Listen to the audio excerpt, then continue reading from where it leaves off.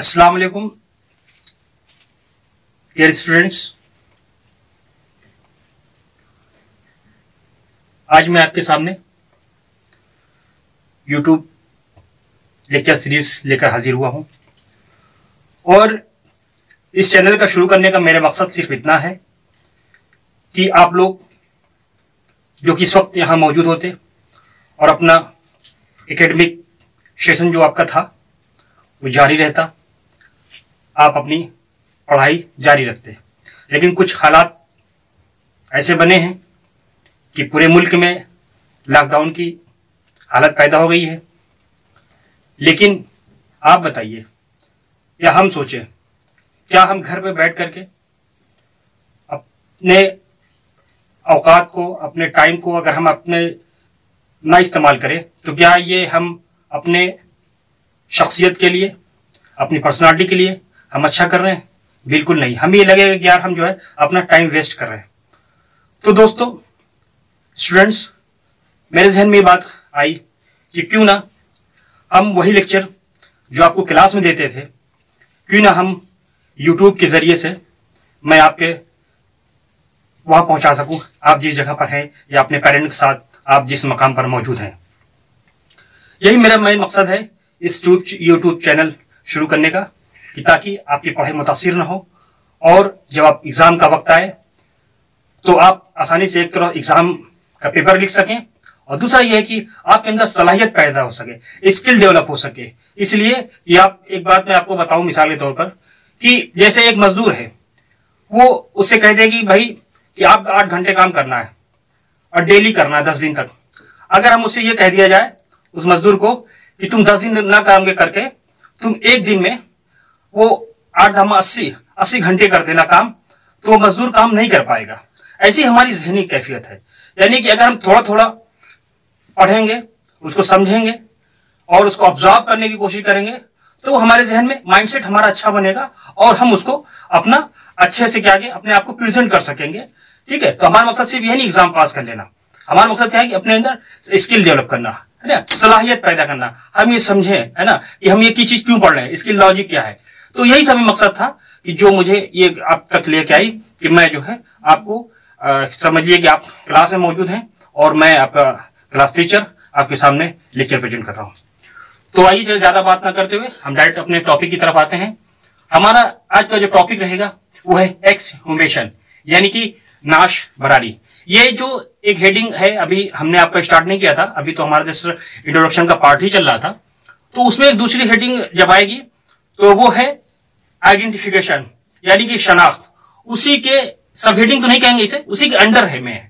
जो सीसीआईएम का आपका सिलेबस है उसके अंदर एक हेडिंग है एक्सह्यूमेशन और ये एग्ज़ाम पॉइंट ऑफ़ व्यू से बहुत इंपॉर्टेंट है ये पाँच नंबर का क्वेश्चन इससे आता है कि आप इससे क्या समझते हैं। तो आज हम बात करेंगे इसमें इसकी डिफिनेशन क्या है कि यानी क्या कि डिगिंग आउट ऑफ़ यानी कवर्स के, के अंदर से लाश को निकालना। हम इसके एग्जैक्ट अभी इसके बारे में आप तफसील से बताएँगे तो इसकी एग्जैक्ट डिफिनेशन मैं आपको वहाँ बताऊँगा। और फिर इसका ऑब्जेक्टिव क्या है? यानी कि ये किस कंडीशन में किया जाता है? ये क्यों किया जाता है? तो उसमें नंबर वन है आइडेंटिफिकेशन यानी शनाख्त के लिए। या दूसरा क्या है? स्टेब्लिशिंग कॉज ऑफ़ डेथ कोई मरा है तो किस वजह से कि उसकी डेथ हुई है उसकी वजह जानने के लिए ठीक है? कि मान लीजिए कोई इंसान को आ, कुछ लोग जा रहे थे उन्होंने बगल के रास्ते में देखा कि कोई बॉडी पड़ी हुई थी उसे उठाकर उन्होंने दफना दिया। लेकिन बाद में जब वो पुलिस तक बात पहुँचती है तो वो उसको बॉडी को निकालती है, या निकलवाने की जो उसको ऑर्डर दिया जाएगा खैर पुलिस के अंडर में ये नहीं होता है बाकी वो डिस्ट्रिक्ट मजिस्ट्रेट या डिस्ट्रिक्ट मजिस्ट्रेट से ऊपर या गवर्नर ही हुक्म दे सकता है कि नाशबरारी का या एक्समेशन का प्रोसेस करने का। तो अगर मान ली पुलिस की कोई बॉडी मिली, और उसके बाद फिर जो है, उसको बताया गया कि भाई फला जहाँ ये बॉडी पड़ी थी, और उसको फला गाँव के लोगों ने उसे दफन कर दिया है। तो पुलिस को जब ये जानकारी हुई तो उस बॉडी की डिगिंग आउट करवाएगी। उसके बाद फिर जो है इसकी फर्दर क्या कहते हैं कि जाँच होगी कि ये किस वजह से मरा था या किसी ने मारा था इसे या खुद अपने मौत ही मरा था। दूसरा है सेकेंड ऑटोप्सी यानी कि दूसरी बात पोस्टमार्टम करने के लिए। उसकी ज़रूरत क्यों पड़ रही? है उसकी ज़रूरत इसलिए पड़ रही है क्योंकि हुआ क्या कि जो है किसी ने यह कह दिया कि एक डॉक्टर का तरफ़ से मिसाल के तौर खास से ये जो केसेस आते हैं, ससुराल की तरफ़ से ये केस आता है कि भाई उन्होंने हमारी जो है, अपने, हमारी बेटी को उन्होंने मार दिया। मारने के बाद जो है तो और फिर वो ससुराल ने क्या किया कि वो उसको जो है, उन्होंने अटॉप्सी करा करके पोस्टमार्टम करा करके उसे क्या करके बरीड कर दिया। है यानी कि कबर में उसको दफन कर दिया। लेकिन उसके जो पेरेंट्स हैं, उन्होंने ये इसरार किया जिद किया कि नहीं, असल एग्जैक्ट उसको, उस पर ज्यादती की गई, उसे मारा पीटा गया, वो अपनी मौत सुसाइड नहीं किया है, बल्कि उसे मार करके गया। तो फिर अच्छा अब ये सेकेंड अटॉप्सी क्यों ज़रूरत पड़ रही है? कि जो फ़र्स्ट अटॉप्सी थी, मान लीजिए उन्होंने, उसके लोगों ने पैसे देकर के किसी डॉक्टर को, ठीक है, वो अपनी रिपोर्ट उन्होंने बनवा ली हो। फिर, और जाके उन्होंने फिर जब कंप्लेन करा कि नहीं, हमें फिर से वो अदालत गए। अदालत में जाने के बाद फिर उन्होंने इस चीज़ का दावा दायर कर दिया कि हमें जो है दोबारा फिर से जो है पोस्टमार्टम हो और एग्जैक्ट जो है मौत का क्या है वजह है, उसको मालूम की जाए। तो उसके बाद फिर क्या इसके बाद प्रोसीजर आता है। फिर उस प्रोसीजर में क्या क्या चीज़ अपनाएँगे, ये सब सारी चीज़ें हैं, जिसको मैं तफसील से पढ़ूँगा और आपके सामने पेश करूँगा। और उम्मीद की आपको समझ में आएगा लेक्चर अगर इसमें कोई इसके बिलमुकाबले कोई आपको कोई कंफ्यूजन होता है, आप मुझसे पर्सनल कॉन्टेक्ट करिए और मैं आपके बात उसको आगे बढ़ाते हैं। तो आइए हम इसकी बात करते हैं, इसकी डिफिनेशन की। What is the exact definition of the exhumation okay students हम लोग तो बात कर रहे थे एक्सुमेशन की। आइए उसकी एग्जैक्ट डिफिनेशन देख लेते हैं। वो क्या है? Exhumation is defined as lawful decent interment और digging out of a buried dead body from the grave for medico legal examination यानी कि नाश को कबर के अंदर से निकालना किस लिए? मेडिको लीगल एग्ज़ाम नेशन की पर्पज से। यानी कि तिब्बे कानूनी इम्पोर्टेंस क्या है उसकी, है ना? क्यों है और क्यों क्यों इसको निकाला जा रहा है? तो उसके, उसको इश्यूज़ एक इशू आ गया है मेडिको लीगल। उसको सॉल्व करने के लिए, ठीक है, वो बॉडी को कवर से बाहर निकाला जा रहा है। इसी को कहते हैं एक ह्यूमेशन अब इसका ऑब्जेक्टिव क्या था? यानी कि ऑब्जेक्टिव से मैंने बताया था आपको कि done in in which condition किस कंडीशन में इसको किया किया जाता है? वो क्या क्या कंडीशन है? तो उसमें एक है आइडेंटिफिकेशन यानी शनाख्त के लिए। वो किस तरह से? Confirming the individuality for any criminal और civil purpose arising after the burial कोई ऐसा केस आ गया जो कि सिविल केस हो सकता है या फौजदारी का मुकदमा हो सकता है, मामला हो सकता है कि एक इशूज़ का आ गया है जिसकी वजह से वो बॉडी को जो उसको बरीड कर दिया गया है, ठीक है, उसको बाहर निकालने के लिए आइडेंटिफाई करने के लिए, यानी कि जिसको दफन किया गया है एग्जैक्ट जिसके बारे में कहा जाता है कि हाँ वो वही शख्स था, वो है या नहीं, है ना, उसकी शनाख्त के लिए हाँ कि वो वो पर्सन ही वही था और वो फला गाँव का था या फला जगह रहने वाला था और इस, फला रेस थे, ताल्लुक रखता था और उसकी ये है, भीड़ थी, उसकी है हैत थी इस सबको जानने के लिए, ठीक है तो उसको क्या करते हैं आइडेंटिफिकेशन के लिए, ठीक है, शनाख्त के लिए। अब नंबर दो हम देखते हैं establish the cause of death यानी कि when any foul play is suspected establishing cause of death यानी कि किसी किसी की मौत हुई है, किस सबब से हुई है, उसको जानने के लिए, उसके बारे में और तहकीक करने के लिए, क्या होता है? When a foul play is suspected यानी कि अगर किसी, ये बता दिया गया कि कोई आदमी सुसाइड करके मर गया। लेकिन उसमें यह किया गया कि वो सुसाइड नहीं, बल्कि उसको मार कर, मारा गया है, मार करके उसके हैंग किया गया है। उसने खुद सुसाइड नहीं किया, उस बंदे को मारा गया, मार कर, मारने के बाद उसको जो है वो हैंग कर दिया गया था। तो जो लोग ये अमल करते हैं, वो क्या करते हैं, उसके बाद कहते हैं हाँ सुसाइड किया उन्होंने, और हमने फिर उसको जो है दफन कर दिया। तो अब उसको एग्जैक्ट तो क्योंकि उसकी अभी हम आपके बताएँगे, है ना? क्योंकि हैंगिंग जब मैं पढ़ाऊँगा तो उसमें आपको बताऊँगा एग्जैक्ट की जो है, वो सुसाइडल हैंगिंग कैसी होती है और होमिसाइडल हैंगिंग कैसी होती है। तो इसके ज़रिए से जानने के लिए कि एग्जैक्ट काज क्या था, है ना? डेथ का, वो इसके ज़रिए से मालूम किया जाता है। यही है इसका ऑब्जेक्ट इस कंडीशन में ये किया जाता है। अब जैसे मैंने बताया आपको सेकेंड ऑटोपसी यानी दूसरा पोस्टमार्टम एक पोस्टमार्टम तो हुआ, कुछ डॉक्टरों की टीम ने किया और उसने कॉज ऑफ़ डेथ कुछ और बताई, ठीक है? फिर लेकिन जो मुद्दे जिसने दावा किया था कि नहीं, हमें एग्जैक्ट अच्छा हकीकत रिपोर्ट नहीं है, हम तो कुछ छुपाया गया है तो हम चाहते हैं कि इसको डॉक्टरों का दूसरा पैनल करे या इसको जाँच करे। डॉक्टर, दूसरे डॉक्टर हों, है ना, उनका पैनल हो, वो उसको जाँच करे, वो अदालत में जाएगा, उसका अदालत उसको ऑर्डर करेगी, उसको हुक्म देगी तो ये पूरा अमल किया जाएगा, यानी कि सेकंड अटॉप से। फिर उसका दूसरी बार पोस्टमार्टम होगा और फिर उसमें मालूम किया जाएगा कि इसकी कॉज ऑफ़ डेथ क्या है। तो ये तीन चीज़ें हो गई, एक तो आइडेंटिफिकेशन दूसरा स्टेब्लिशिंग कॉज ऑफ़ डेथ और तीसरा है सेकेंड ऑटोपसी अब हम बात करते हैं इसको प्रोसीजर यानी कि इसका तरीका क्या होगा? किस तरह से बॉडी को बाहर निकालेंगे? तो उसमें आप जान लीजिए कि पहले तो यह है कि जो कबर है, जो ग्रेव है, वो मालूम किया जाएगा कि हाँ जो पर्सन इसमें दफन किया गया है, जिसके बारे में आगे और फर्दर तहकीक का मुतालबा किया गया है, ठीक है? उसके एग्जामिनेशन का और मुतालबा किया गया है। तो पहले तो ये आइडेंटिफाई करा जाएगा कि हाँ ये कबर उसी की है। मान लीजिए अगर एग्जैक्ट आइडेंटिफिकेशन नहीं हुआ कि कौन सी कबर है, किस डेट में, किस जगह पर, है ना? उसके किस निशान क्या है? मल्ली कब्रिस्तान किस तरह है और उसके निशान कुछ लगा देते हैं लोग, है ना? वहाँ पे ताकि ये मालूम रहता है कि हाँ फला की कबर जो है, फला उसके निशान पर ही मौजूद है। तो इस तरह से क्या हो गया कि पहले तो क्या है कि उसको आइडेंटिफाई करना है, उस कबर को। फिर उसको क्या है कि उसका जो ऊपर का जो है, फिर जो पटरे वगैरह जो लगे होते हैं और जो और चीज़ें कॉफिन वगैरह जो होती है, उसको बहुत ही, है ना स्मूथली क्या करें, उसको रिमूव किया जाएगा। और रिमूव करते हुए क्या होगा कि कैमरामैन उसकी फोटोग्राफी करता रहेगा। कहीं ऐसा ना हो कि कोई जो है, उसमें जो इसको अमल कर रहा है, उसको वो किसी और से उसने पैसे ले लिया हो कि हाँ ठीक है, हम बॉडी में ये चीज़ नहीं था तो हम वो चीज़ को पैदा कर देंगे।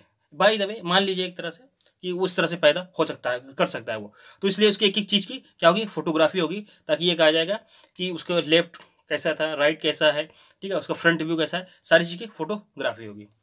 फिर तीसरे की हम बात करते हैं कि कॉफ़ी को जो है कॉफिन है, जिसके अंदर उसको बॉडी रखी गई है, उसको बहुत ही आराम से आराम से बाहर निकाला जाएगा और उसमें से कोई फ्लूड है या कोई डिब्रीज है, अगर कॉफ़ी नहीं मिल रही है, ठीक है? तो उसको भी क्या कर? क्या कलेक्ट कर लिया जाएगा। फर्दर इसको एग्जामिनेशन के लिए।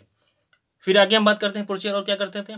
Identification of the body is confirmed by relative and friend फिर उस बॉडी को, जो उसके फ्रेंड्स होंगे, जो रिलेटिव होंगे, ठीक है, उनको क्या किया जाएगा कि उनको दिखाया जाएगा कि ये देखिए, आपके ही, का रिलेटिव है, या आपका ही दोस्त है, या आपके दोस्त अहबाब में से कुछ हैं तो वो उसके बाद जो है, उसको देखा जाएगा। अच्छा ये होगा किसके अंदर में? ये मजिस्ट्रेट या कॉर्नर या बाई द पुलिस ऑफिसर वहाँ मौजूद होगा, उसके निगरानी में ही ये अमल होगा। बस फिर कह रहे हैं कि इसमें डिसइनफेक्टेंट किसी तरह का यूज़ नहीं किया जाएगा। यानी कि जब बॉडी निकालेंगे, ज़ाहिर सी बात है, वो सड़ी गली लाश होगी, उसमें कीड़े वगैरह पड़ चुके होंगे, ठीक है? अब वो डिपेंड करता है कि वो किस मौसम की लाश है, सर्दियों की है या गर्मी की है या बरसात के मौसम की है या फिर कितने डेज़ की है, अब उस पर डिपेंड करता है। लेकिन इसमें ये बताते हैं कि कोई डिसइनफेक्टेंट नहीं यूज़ करना करना है, क्योंकि जो है बॉडी निकालने के लिए, ठीक है? उस पर डिस किसी चीज़ का छिड़काव कर दिया जाए उस बॉडी के ऊपर ताकि उसके बैक्टीरिया जो वायरस हैं, वो ना आ सके किसी और को न लग सके तो उसका पूरा एक प्रोसीजर होगा, वो पूरा मेथड होगा कि जो लोग उसको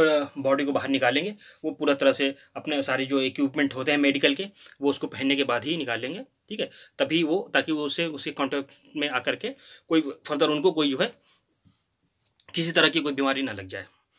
तो उसको क्या करेंगे? किसी डिसइनफेक्टेंट नहीं करेंगे, यानी कि किसी तरह से कोई चीज़ें या कोई सोल्यूशन इस्तेमाल नहीं किया जाएगा, क्या कोई डिसइनफेक्शन नहीं इस्तेमाल किया जाएगा, जिसकी वजह से है ना, कि और जो है उसमें बायस पैदा हो सके, है ना, उसमें खलत मलत ना हो जाए। अगर कोई केमिकल यूज़ किया जाएगा तो फिर उसमें क्या बायस पैदा होने के चांसेस ज़्यादा रहेंगे। अब ये देखना है कि नेक्स्ट नेक्स्ट बात करते हैं। If skeletonization is advance then it will become necessary to dig dig down beside and beneath the body अगर ये देख रहे थे कि स्केलेटनाइजेशन इज़ एडवांस यानी एडवांस हो चुका है, यानी कि क्या है कि उसका जो हैयत है या ना स्केलेट हैगल है, वही बाकी बचा है और जो चीज़ें क्या है कि गोश्त वगैरह क्या पूरी तरह से गल चुका है। तो ऐसी कंडीशन में क्या करें कि वो जो है नीचे साइड से, ताकि और जो है बोन वगैरह में कोई डिफॉर्मिटी ना पैदा हो जाए या उसको और फ्रैक्चर ना हो जाए और ना बोन उसकी टूट जाए, है ना? उसको बचाने के लिए वो नीचे साइड से उसको आहिस्ता से, है ना? बहुत ही प्रिकॉशन लेते हुए उसको डिग आउट करेंगे या उसको ऊपर की तरफ़ बाहर निकालेंगे। फिर करेंगे उसके आसपास की जो मिट्टियाँ हैं, उसको भी प्रिजर्व कर लेंगे। और जो छोटे मोटे चीज़ हैं, उसके जैसे मान लीजिए उसके टीथ अगर आसपास स्केलेटन से निकल के गिर गए हैं, ठीक है? या फ्रंटल बोन है, कोई निकल के आ गई, या कोई हाइट बोन है साइड में पड़ी है उसके, की बॉडी के तो उस सब चीज़ों को क्या करेगा कि आपको मिट्टी सही थी, वहाँ के आसपास की जो मिट्टी होगी, उसको सही पूरा, उसको प्रिजर्व कर लिया जाएगा। अब कह रहे हैं कि अगर कोई इंजरी है तो उसको बहुत ही केयरफुली जो है इसको नोट किया जाएगा कि इस बॉडी में, इस जगह पर इंजरी जब इसको डिग आउट कर रहे थे, उस वक्त जो शो हो रही थी, वहाँ पर उसकी फोटोग्राफी भी कर लिया जाएगा और उसको नोट कर लिया जाएगा कि उसके पेट में इंजरी है, या उसके माथे पर है, या उसके चेस्ट में इंजरी है, इन सब चीज़ों को क्या किया गया, वो उसको नोट कर लिया जाएगा, उसकी फोटोग्राफी भी हो जाएगी। अब करेंगे इन केस को केस ऑफ़ सस्पेक्टेड पॉइजनिंग अब कोई ऐसा केस है कि जहर दे के अगर मार दिया गया है, फिर उसके, क्या है कि उसको दफन कर दिया गया। अब अगर ऐसी कंडीशन में होता है तो क्या करना होगा? तो कह रहे कि viscera if present identifiable should be preserve for chemical analysis तो उसके जो विसरास हैं, यानी कि विसरास के मतलब उसके लीवर हैं, उसके किडनी है, या उसका ब्रेन है। अगर मान लीजिए उसमें कुछ रहे, या उसकी स्प्लीन है, इन चीज़ों की जिससे आइडेंटिफिकेशन हो सकता है कि पॉइजन कहाँ कहाँ जा सकता है, ठीक है ना? उस सब चीज़ों को कंडीशन में क्या करेंगे? उस कंडीशन में पॉइजनिंग कंडीशन में, उन सबको भी प्रिजर्व कर लेंगे। अगर गरीब बिस्तरा नहीं मौजूद है तो क्या करेंगे? सब गोश्त का टुकड़ा अगर उस एरिया का होगा तो उसको भी प्रिजर्व किया जाएगा। अगर कह रहे हैं कि अगर मांस भी नहीं मौजूद है तो उसके हेयर को प्रिजर्व किया जाएगा। नेल हुआ, teeth, bones, skin should be preserve. यानी जो भी उसका पार्ट रहेंगे, है ना, उसके ज़रिए से मालूम किया जाएगा। मालूम किया जाएगा कि उसका जहर कौन सा था और किस नोयत का वो जहर था, ठीक है? उसको जानने के लिए ये सब चीज़ों को कलेक्ट किया जाएगा। और फिर लास्ट में हम बात करते हैं कि टाइम लिमिट फॉर एग्जामिनेशन कि एग्जामिनेशन की टाइम क्या है? कितने एक लिमिट तक होती है इसकी? अदरवाइज़ ये मान के चला गया कि मैं क्या कि अगर जो है अभी जैसे मैं आपको बताऊँगा टाइम लिमिट या इसको पहले सुन लेते हैं कि इंडिया में कहते हैं there is no time limit for carrying out exam कोई टाइम लिमिट नहीं है। कभी भी अगर कोई भी दावा कर दिया कि हाँ हमारे जो रिलेटिव था उसको आ, मार करके है ना उसको सुसाइड का केस बना दिया गया और उसे हालाँकि उसको मारा गया था उसके कत्ल किया गया था है ना फिर उन्होंने लोगों ने ही उसको दफन भी कर दिया था। तो ये अगर इंडिया में ये केस आता है, अदालत में जाता है तो अदालत उसको सुनेगी और उसको ऑर्डर कर कर देगी ठीक है, कि हम इसका जो है बॉडी को बाहर निकालेंगे और इसका फिर से आइडेंटिफिकेशन होगा उसका और उसका एक्स्टेब्लिशिंग कॉज ऑफ़ डेथ को जाँच के लिए करेंगे या सेकेंड एटॉप्सी कराई जाएगी। तो ये अदालत के ऑर्डर पे ही ये काम होगा। और कह रहे हैं कि however the period of exhumation is restricted in other countries for example is about ten years in France France और में तो है दस साल तक और तीस साल है जर्मनी में। यानी कि इस अगर तीस साल से ऊपर चला गया जर्मनी के अंदर और दस साल से ऊपर चला गया फ्रांस के अंदर तो वहाँ पर ये मना हो जाएगा कि अब जो है एग्जामिनेशन की इजाज़त नहीं दी जाएगी। लेकिन हिंदुस्तान में ये अनलिमिटेड है। अब सोच लिए कि हिंदुस्तान में क्या क्या चीज़ अनलिमिटेड है, वो हम सभी जानते हैं। तो हमारे डियर स्टूडेंट्स ये थी हमारी एक कोशिश, जो कि हमारी लेक्चर की थी। अब वो आप लोग सामने होते थे तो उसकी नोयत अलग होती थी, है ना? वो पढ़ाने का अंदाज़ अलग होता था। और एक ये है कि हम आपको घर बैठ के पढ़ा रहे हैं, ठीक है ना? अब इसमें बहुत सारी चीज़ें होंगी जो आपको समझ ही नहीं आ रही होंगी। और कंसेप्ट क्लियर नहीं हो रहा होगा तो आपसे रिक्वेस्ट है, आप मुझे पर्सनल कांटेक्ट कर सकते हैं, ग्रुप पे मैसेज कर सकते हैं। बस आपसे रिक्वेस्ट हमारी यही है कि आप जो है, इसको चैनल पे जाइए, जो यूनानी स्कॉलर चैनल है, वहाँ पे इसे सब्सक्राइब करिए। और लोगों को खास अपने जो फ्रेंड्स हैं, अब वो किसी भी कॉलेज के हैं उन तक मैसेज पहुंचाइए कि आप घर बैठे, है ना, सर का एक लेक्चर आया है, अपलोड हुआ है है ना चैनल चैनल सब्सक्राइब करिए, उसको शेयर करिए और उसको देखिए, ठीक है। हालाँकि मैं, इसमें कुछ हमें फ़ायदा, बेनिफिट नहीं हो रहा है, बस ये कि हम भी, हमारा क्या है कि हमारा भी रिवीजन चल रहा है, यानी कि हम भी पढ़ रहे हैं, यानी हम आपको पढ़ा रहे हैं, खुद हम पढ़ रहे हैं, खुद हम सीख रहे हैं, ठीक है। वरना तो क्या है कि हमें ना इंतजामिया हमसे कुछ कह रही है और ना ही हम चाहे बैठे रहे, आप भी नहीं कह रहे हमें। लेकिन यह है कि हम दे देखा कि स्टूडेंट के, बहुत सारे इंटरेस्टेड स्टूडेंट्स है कि बैठे बैठे अगर हमारा जो है अच्छा सा टाइम यूज़ हो जाए और हम पढ़ लिख लें तो वो हमारा ही फ़ायदा होगा। तो हमारा सिर्फ़ यही मकसद है। तो ओके स्टूडेंट्स उम्मीद है कि आपको पसंद आया होगा। आप अपना ख्याल रखिए, अपने आसपास के लोगों का ख्याल रखिए। ठीक है? अल्लाह हाफिज़।